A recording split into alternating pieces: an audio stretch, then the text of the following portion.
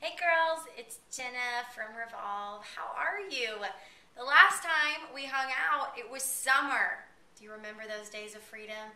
I was at camp, living up life. Maybe you were at camp. Maybe you were just hanging out by the pool. And those days are over, aren't they? You're back in school, back in the routine.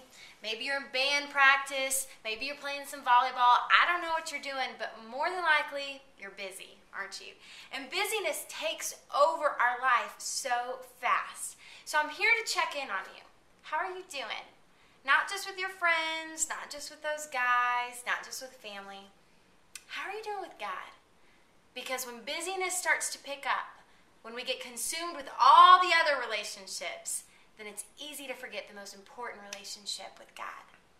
So I'm here to encourage you. One way I really try to keep my relationship with God alive is to continually be talking to Him. Another way to say that is to pray. I think you've heard of that before. 1 Thessalonians 5:17 says to pray continually.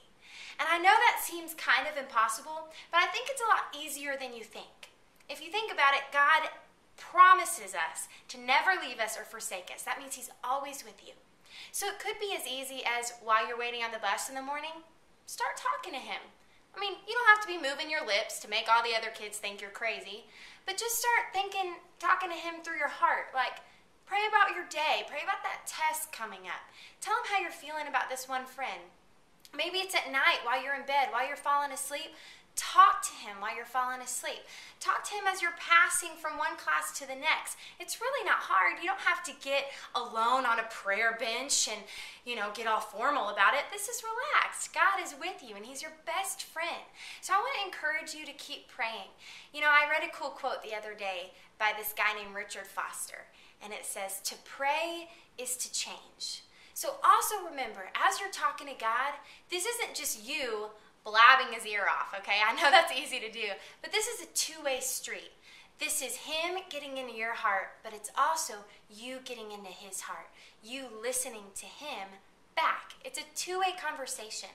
So that takes time, that takes learning, but keep that in mind as you're praying to God. Don't only talk to him, listen to him. Can you do that? Because to pray is to change. And when you listen to Him, your heart starts to change. Your heart starts to be convicted. And your life starts getting just a little bit easier. So keep it up, girls. Keep up the hard work. And amidst all the craziness and busyness, don't forget to talk to God about it because He'll bring you a lot of peace through it. I promise. Love you. Talk to you soon.